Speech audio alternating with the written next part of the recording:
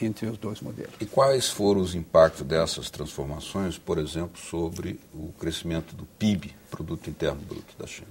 Olha, em 1974, quando o Brasil e a China reataram suas relações diplomáticas, uhum. o Brasil estava no auge do, da fase do milagre econômico brasileiro. Uhum.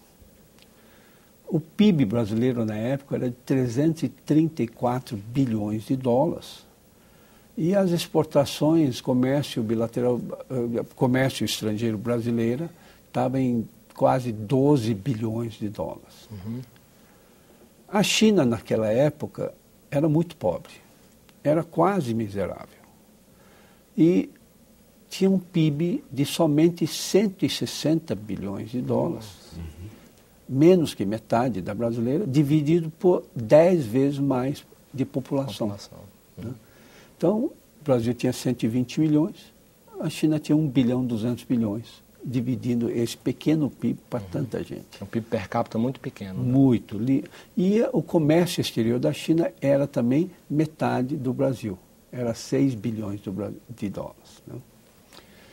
Como sabemos, eh, a China evoluiu muito desde então. Uhum. E aqui no Brasil nós não conseguimos uh, crescer tanto. Uhum. Né? Por quê? Bem, porque as prioridades chinesas e as prioridades brasileiras eram completamente diferentes. Na China, a prioridade era total, era busca de prosperidade a qualquer custo.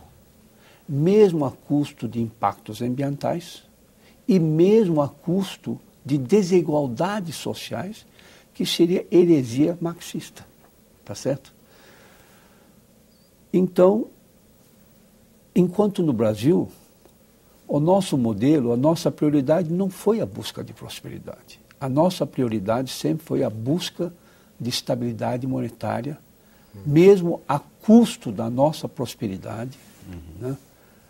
E então cada um plant, colheu o que plantou. Né? Nós chegamos a ponto de inverter, levar, tornar o meio como nosso fim e o fim virou o nosso meio. Uhum. Nós sabemos que qualquer teoria econômica, o fim dela é a bem-estar geral da sociedade, uhum. a prosperidade. Né? E a estabilidade monetária é um meio para esse fim. Uhum. Bem, no Brasil virou um fim isso. Sem dúvida. A gente sempre cortou qualquer chance de crescimento econômico para manter a estabilidade monetária. Se a nossa economia ameaça crescer, a primeira atitude nossa é aumentar a taxa de juros para cortar o crescimento, para manter essa tal de estabilidade monetária.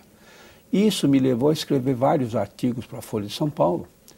Uma é a ilusão da política de juros exorbitantes.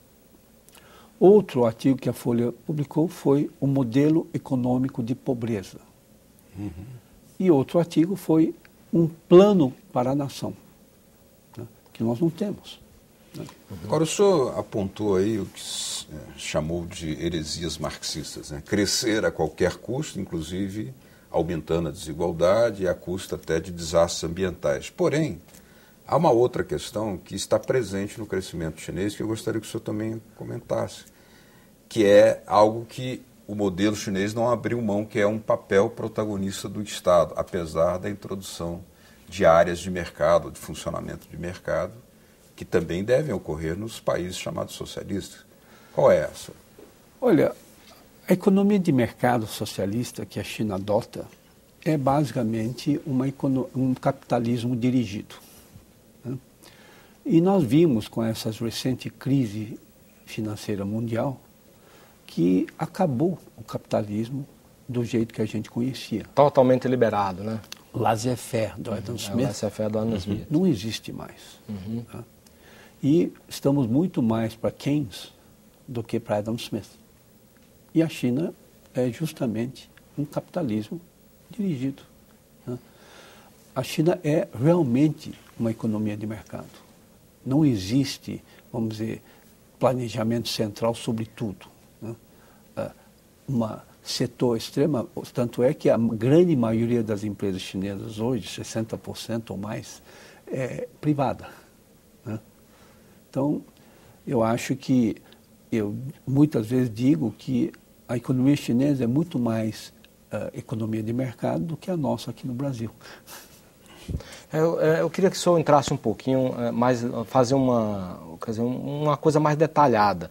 Quer dizer, o senhor falou aí do discurso de Deng Xiaoping, que após esse discurso se colocou o bem-estar, a busca do bem-estar da prosperidade no centro do, da, da, das metas chinesas. Sim. Agora, o que aconteceu, por exemplo, com o sistema produtivo? Como, porque não é fácil a gente ver no Brasil como é difícil mudar um sistema produtivo. Quer dizer, essa coisa, essa engrenagem toda de impostos, de tributos, estrangulamento do, da infraestrutura. Quer dizer, como é que foram desatados esses nós para que o país deslanchasse?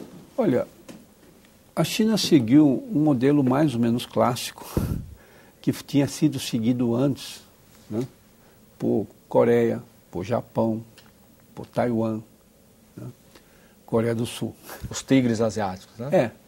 Ou seja, vamos baixar nossos custos uhum. e obter receita de exportação para impulsionar a nossa formação de capital e desenvolvimento. Então foi isso que a China fez. Ela retirou e a busca incessante por investimentos estrangeiros. Durante três décadas, a China discriminou contra a indústria nacional chinesa, favorecendo a empresa estrangeira. Essa política só terminou em 1 de janeiro de 2008 por causa da crise financeira mundial. Né? Até então, a empresa estrangeira pagava 25% de imposto de renda e a empresa chinesa pagava 33% de imposto de renda. Né? Mas esse foi o fator principal da formação de riqueza da China. Mas por que, que virou uma atração para o capital estrangeiro? Seu retorno era mais rápido que investimentos em outros países? Não, não. A China buscava que investimento estrangeiro para seu país, né? uhum. ou seja, atraía General Motors, uhum. as empresas multinacionais para investir na China. Com benefícios fiscais. Com, com benefícios fiscais, é, como acima, nesse caso aí. Acima do que o, uhum. a empresa chinesa. Uhum. Naquela época, toda a empresa chinesa queria ter um sócio estrangeiro para poder baixar seu uhum. imposto de renda. Né? Então, esse foi necessário para a formação de capital da China e o principal fator de riqueza da prosperidade da China é um pouco diferente do que aqui no Brasil nós ainda somos muitas vezes dirigidos pelas nossas ideologias. Eu acabei de, de escrever um, uma, um artigo chamado o nacionalismo antinacionalista. Uhum. Né? Porque, por exemplo, nós todos lembramos na época que a gente uh, dizia que o petróleo era nosso. Né? Uhum. Né? A gente não tinha recursos nem tecnologia para poder retirar o petróleo, mas era nosso, embaixo da terra, não beneficiava ninguém, nem o país, nem o povo. Né? A gente estendeu nossa pobreza. Uhum. Né? E, mais recentemente, nós proibimos a compra de terra para o estrangeiro, que, como o ex-ministro Roberto Rodrigues disse, até parece que o estrangeiro vai cortar um pedaço do Brasil e vai embora. É. Isso, essa nossa atitude uh, foi muito agradecida pelos nossos vizinhos da América Latina e países africanos que receberam a bonança de prosperidade que nós rejeitamos. Né? Que, como não podia investir no Brasil, investiram em outras nações. Uhum. Né?